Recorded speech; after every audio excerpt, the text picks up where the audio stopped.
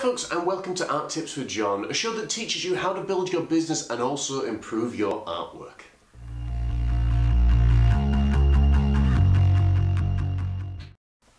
Well hi folks and how are we doing today? Hoping you're having a wonderful day wherever you are in the world today. One of the most popular questions that I get asked is John, how much should I price my artwork for? Now that answer really depends on who you are, how much you're spending and what you're doing, but I'm going to try and break it down into four simple steps for you. The first thing that you need to think about is the size of your artwork. If it's a painting of this size, for example, it's going to be much, much more expensive than a painting of this size. Now the reason that is obviously because the bigger something is, the more quality and the more materials and the more cost has been put into putting it together. So that's something you need to think about is how much time it has taken you to actually paint this painting. Okay? The second thing you need to think about is how much does it cost to put it together?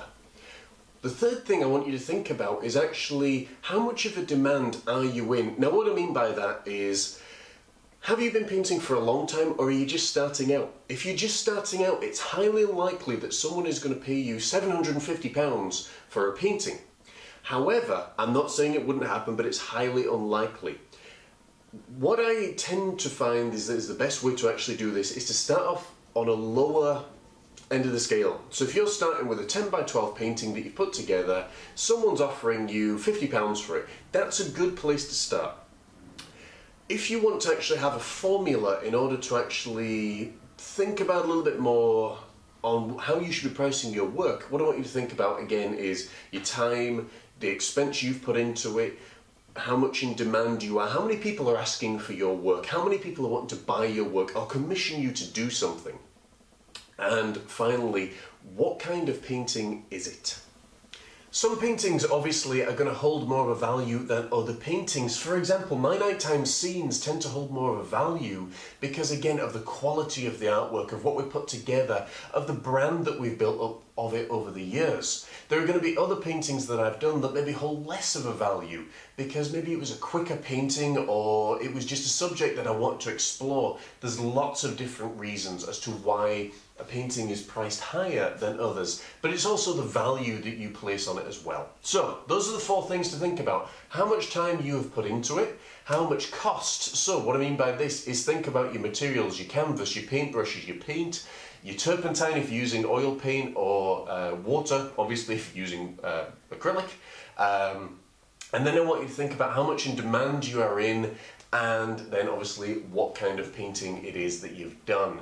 When you've got all these things listed out and you've got all your expenses, what I want you to do then is to decide, right, am I paying myself minimum wage? Am I going to pay myself slightly higher? Okay, sometimes I'll be around £100 an hour, depending on the painting that I'm doing, okay?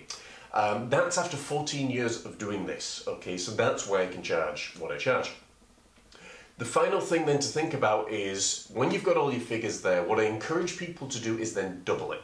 So if your expenditure is, you know, £60 and you're paying yourself, you know, £10 an hour, say, I want you to then get to your final figure and if it's taking you five hours to do this painting, that's 50 quid um, that you have, you know, time-wise that you've invested, I want you to then double it. Okay, so what you want to be charging is £100, obviously and then your expenses on top. Well guys, I hope this helped and I hope you've enjoyed this episode of Art Tips with John. Please do feel free as always to like, share and subscribe and if you've got any questions please stick them in the box below and I will try my very best to get to each and every single one of them. As always, I've been your host, John Morris, and I look forward to seeing you right here again on YouTube next Tuesday. Check out johnmorrisartfromtheheart.com for all our latest news, hints, tips, tricks, blogs, you name it, products as well.